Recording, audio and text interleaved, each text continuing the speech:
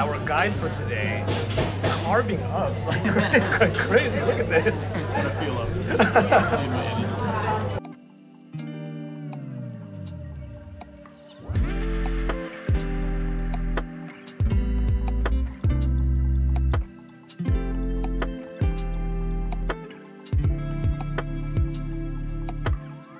So obviously one of the main things that you can check out while you're in Berlin, uh, just areas where the, uh, some of the things that you can see in Berlin include actual erections of parts of the, the wall. Uh, you have a little bit of it right here.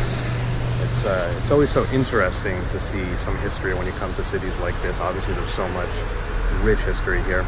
Uh, the only thing is, one top tip for any of you who might be traveling here, there are so many souvenir shops that like claim to have a tiny piece of the Berlin Wall that you can buy and then you know you have a that's like your weird souvenir. Um, usually it's fake. Don't fall for that trap. That's right, we're vlogging with the Sony Xperia 1 Mark V, the latest in a lineup of phones that are certainly more creator forward and thus probably better suited to someone like me and maybe not the general masses. After all, it shows it right here on the home screen. You have the Cinema Pro, Video Pro, even Music Pro applications on here that are supposed to mimic the same experience you might get on other Sony products like their ZV cameras. And you know what, they've always done a pretty good job of that, even if it means that these phones end up being pretty niche. So good a job, in fact, that I found myself not shooting with my Sony ZV-E1 that I had on my hip because the phone was doing a pretty good enough job already. But before we get to all of that, let's head back to Spreewald in Germany, just outside of Berlin, where some tech friends and I decided to go and decompress after the craziness that was IFA travel. All right, here we are um, in the lovely little town of Spreewald looking up the article here on the Xperia 1 Mark V. And also, uh, as you can tell probably, a lot of what you're seeing in this video is taken using the cameras on the Xperia 1 Mark V. And I'm using a ZV-E1 right now to get this vloggy shot at the moment. Um, and you know what? The uh, Xperia 1 Mark V feels a lot like using a ZV-E1, just with uh, some obvious changes to the mobile photography side of things as far as the mechanics are concerned.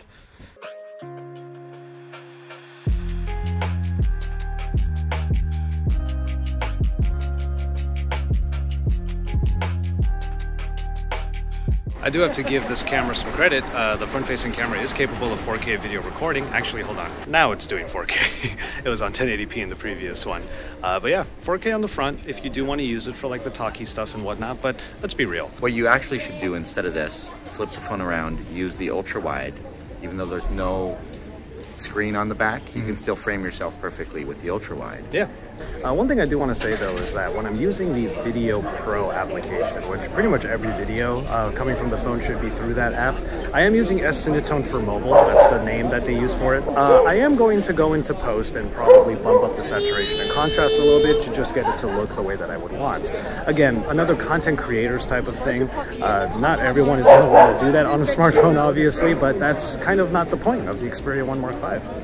With basically all other smartphones, uh, at some point there's a change when it comes to their phone designs, but Sony has kept things basically the same and simply updated the materials from time to time. But that also means that this Xperia 1 Mark V has pretty much everything that you might want from a smartphone, but you usually don't get elsewhere. Case in point, a headphone jack. This pulls double duty as a microphone jack as well if you're going to connect something like a wireless mic pack or a shotgun mic when rigging up the phone. It's a clear sign that the phone is better suited to creators who are looking for a reliable kit and know their way around a Sony camera, and likely those who know their way around getting a proper shooting scenario already. Another thing that this phone has that plenty of others do not extra buttons, in particular one for hitting the camera shutter. I've always been appreciative of this because you get straight to the camera app with a hold and then you can run and gun with the button just taking pictures all willy-nilly.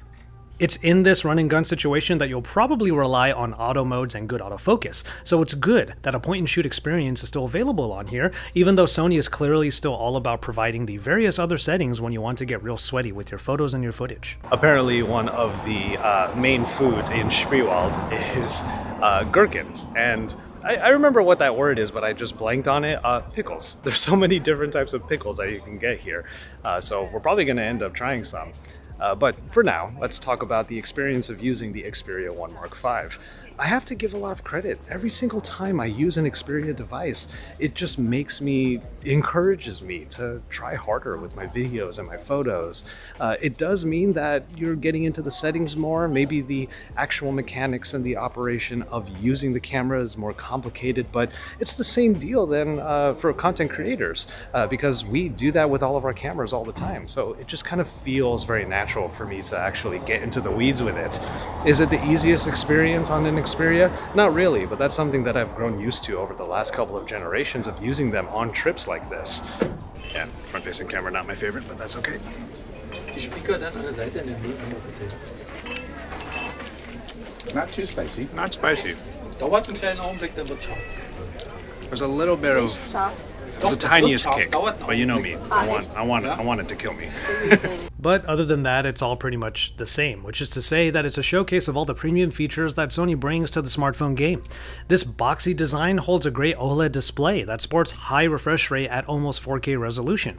The fairly minimal, if you don't count the Pro Creator apps, Android interface is powered by the Snapdragon 8 Gen 2, and the battery life is pretty good provided you're not shooting at HDR or log or 4K 120 all the time given the 5000 mAh battery. It goes without saying, if you followed Sony flagships for the last couple of years, you know what you're getting before we even dive into the camera enhancements. Speaking of that battery, it is charged up using either wireless or 30 watt wired charging, so why not pair the phone with a great charging solution from the sponsor of this video, Ugreen? Their Nexode lineup of chargers provides a lot of choice in terms of charging just about any kind of gadget, and the Nexode 300 watt GaN charger is one of the best ways of getting everything charged up even all at once. Five devices, four via USB C and one via USB A, can be charged all at the same time with the power of GANTech and PD 3.1. Obviously, smartphones will charge at full speed as a result of this station, but if you want to charge something even more robust, like a laptop, these top three ports can go at high speeds even when all of them are being used at the same time. Check this out the smartphone is charging in the fourth port at 20 watts,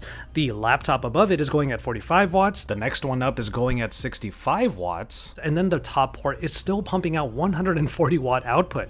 That is still enough for most laptops, even gaming laptops, so that you have plenty of power even when everything is being used at once. The Ugreen Nexode 300 watt charger is the perfect solution for all of my gadgets, especially when I get into the office and I realize multiple of my items need a top up or are just totally dead. You also don't have to worry about things heating up or anything like that because of Ugreen's Thermal Guard, which is a temperature check that runs 6,000 times each minute to make sure the station is running cool and out of danger. And finally, making the switch to GaN charging, GaN tech, is just one that you and the environment can both benefit from. Fast charging speed means less time being plugged in, but GaN technology is also better to make than legacy charging solutions, and it all helps to reduce emissions and to help the environment. It's certainly one of the best charging solutions I have, and all of my powerful gadgets get the power they need all at once. Check out the Ugreen Nexode 300 watt GaN charger, sporting a dedicated 140 watt USB C port via the links in the description and in the pinned comment below. And you can also check out all of the other Ugreen Nexode charging solutions as well. Thanks again to Ugreen for sponsoring this video. Now, let's get back to it.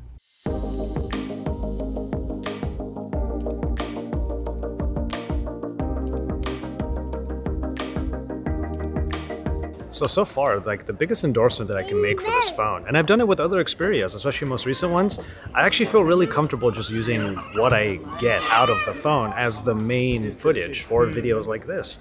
Uh, the hardware is just really great. The processing is not too crazy so that it actually looks like natural video. Um, and in a good lighting situation like this, using the Xperia phone, yeah, I'm able to vlog pretty well with it and to get some good shots with it. Especially since you have the zoom on there, which is just something that you want to use for more dramatic looking shots. We're not even moving yet, I'm already enjoying this. Just sitting by the murky water.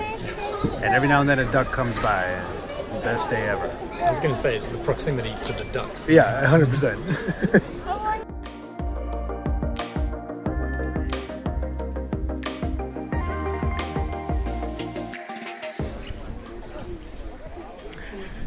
Every shot, it's just another duck. Josh, a duck, a duck.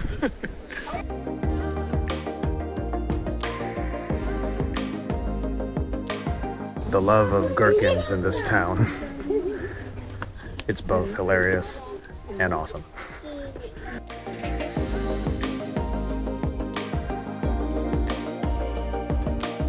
Let me give a quick thought about what you're seeing coming out of this camera in this video.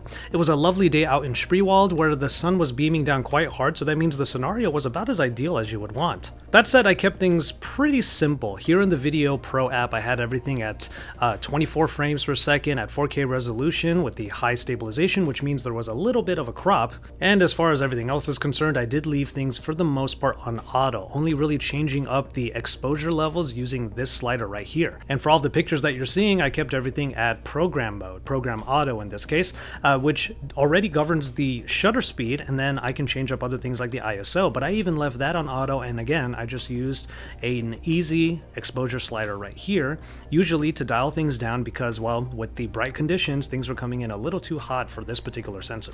So basically in both scenarios, I was doing like one dial shooting for the most part. That's basically how we shoot with typical smartphone cameras anyway, only here it's done in a more classic camera mode style. And I may have already mentioned it in the vlog portion earlier, but I also shot all of the video using S-Cinetone for mobile. That's exactly what it's called here in the interface. I like to dial in my settings in camera usually, which means on my Sony cameras I use the S-Cinetone picture profile, and then I dial up the saturation and the contrast a little bit.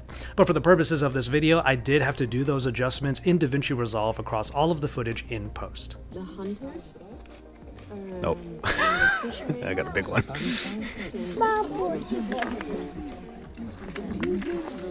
Mm. Pickles. Gherkins, I mean. Gherkins. One in Berlin. But I think you're right. They're like Go to Spreewald. interesting, right? Oh, and by the way, speaking of those interfaces, check this out. Sony finally listened. All of the elements can now be viewed vertically, both in the Photo Pro and in the Video Pro applications. If we go like that, everything changes up, so if you are really into the short form vertical content, well, it's more comfortable to do now with this phone. I think it's good that we have all of these options because Sony is making sure that the hardware is keeping up with them. I didn't talk about it much, but the main sensor is now a 48 megapixel stacked sensor. And I didn't talk about it much, but you can see what the quality is like from photos and videos, crisp and detailed across the board. 4K 120 is possible across the rear cameras, which I have used on the previous generation phone quite a bit. Another thing that I always appreciate with these cameras is that the various lenses provide the proper focal lengths that a shooter might want, from an optical 16mm ultra wide to an optical 85 to 125mm via the variable optical lens, which is something we saw last year and it's still good to see. Clearly I had a great time in Spreewald. Shouts out to the friends who were on that little road trip, Nick Gray of Fandroid, Chris Carlin and his family. It was also a great time shooting everything mainly with the Sony Xperia 1 Mark V. It's got the chops, even if you have to put a lot of elbow grease into everything to achieve it. From the interface that gives you an almost dizzying array of tools and settings to the work I put in post in order to achieve the look that I wanted, the phone is clearly a creator's tool, and it might not be for everyone. But Sony is clearly confident in what they're putting out there for creators, and they have done another good job with the Xperia 1 Mark V. Real quick, one more shout out to the sponsor of this video, Ugreen, and their Nexode charging stations, including the powerful 300 watt station. Once again, check them out in the description and in the pinned comment below. But from there, I'm going to go ahead and call it on this one. Thank you so much for hanging out with me again today and watching this little vlog of a random day I had with my friends. Please take care of yourselves and each other, and enjoy your tea, everybody. Coffee today, but we have a lot of work to do, so need that boost.